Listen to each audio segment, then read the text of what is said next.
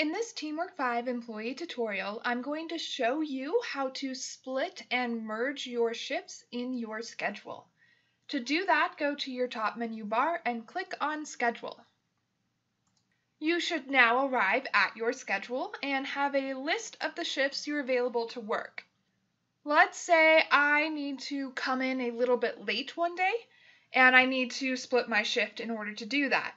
So I will locate the day, say June 11th, that I need to split and click on the little split symbol. Now a pop-up window is going to ask how I want to split the shift. It will automatically be split in half, so if that's not what you want, you will have to change that.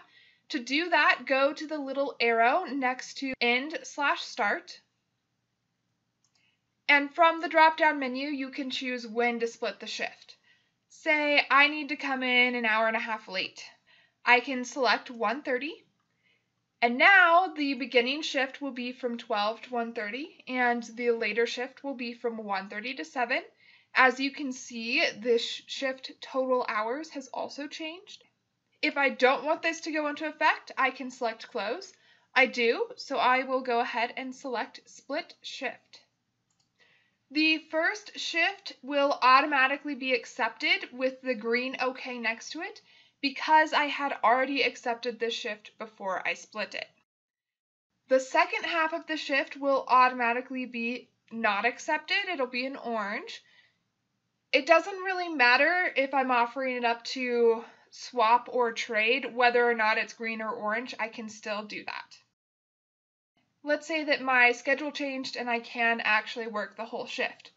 All I have to do is go to the second part of the shift that I split and click on the merge symbol.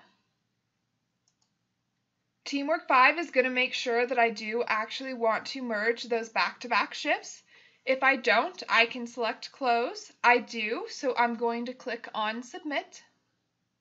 And now that shift has been merged back together. It is automatically accepted because I had accepted it before I split it. To learn how to swap or trade your whole or partial shifts, check out the next video.